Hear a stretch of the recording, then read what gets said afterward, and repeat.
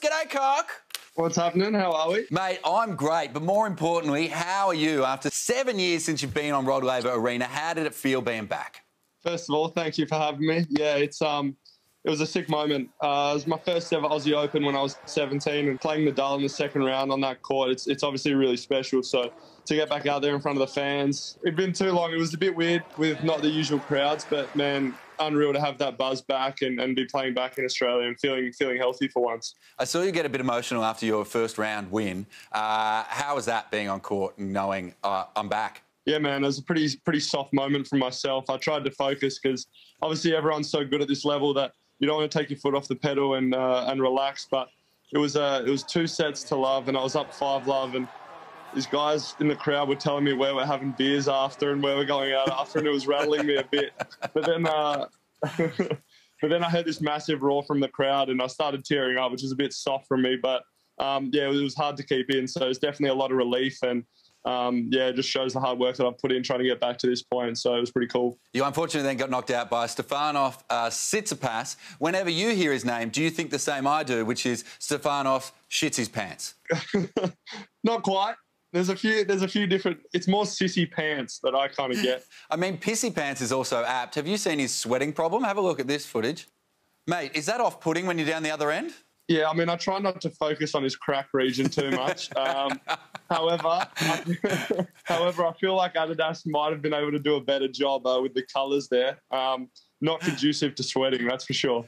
I mean, if Adidas really wanted to get on board, they could put two stripes on either side of his butt crack and then he'd fill in the third. I don't even know how to respond to that. Hey, in all your post-match uh, press conferences with Kyrgios, he was always talking about your DMs, your DMs, and your DMs. How are the DMs going? They're going all right. Yeah, he didn't. He didn't mind throwing me under the bus there. He uh, he definitely made a point of that to talk about that more than the matches for sure. But uh, no, they're all right. They're they're pretty full at the moment, but um, I'm, I'm expecting them to be empty pretty shortly uh, after the Aussie summer stops. If you send a photo in a DM, even just of your face, is that technically considered a cock shot? I think that would classify. I think that would classify as a cock shot. hey, mate, talk us through the earring. Now, this was a trend that uh, last I remember it starting with Andre Agassi, and then you've been rocking an earring. Uh, why do you do it? Is it bringing you good luck? Uh, I've rocked an earring since I was 16. Um, Mum wasn't too happy about it. I've mixed it up and uh, yeah, got this one online and felt like a bit of a weirdo uh, putting it on, but just thought I'd run with it and see what happens. Um, our very own esteemed co-host PVO, he also rocks an earring. Have a look. What do you reckon? That's brutal.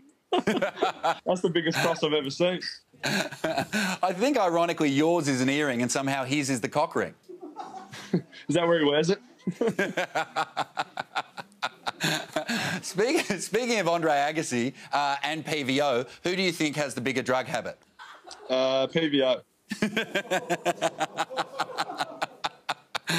Mate, I noticed, I noticed you, you were rocking Kmart t-shirts. You talked about rocking Kmart t-shirts. Have they sponsored you yet? Well, uh, there's a few things in the works. We'll see. We'll see. Nothing, nothing set in stone. I'm relying on my agent to uh, do some good things. So we'll see what happens, but I definitely wouldn't turn it down. Are you worried that with the way the Joker's been behaving recently, that you're no longer the biggest cock in tennis? Well, I, uh, mate, I try and stay away from too many comments on Djokovic because I get scolded on my social media. A lot of, a lot of Serbs like to have a crack, and a lot of Djokovic fans. So, um, yeah, I'm just, uh, he's got a tough match coming up. Have we had enough cock stuff? Do you reckon PVO's had enough cock? I didn't know the project was allowed this much cock. I think we've filled our quota from the week. We had a bit in reserve, and so Sunday I just thought I'll finish it off. I don't even know allowed to say that.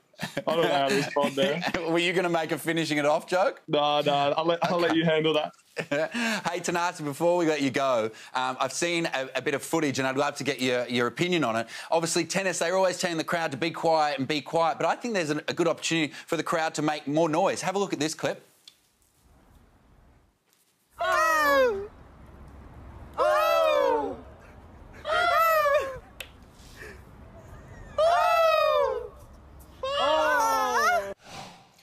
Do you think the crowd providing live sound effects is a good thing or a bad thing? Mate, that's a live look at the first week of the Aussie Open this year.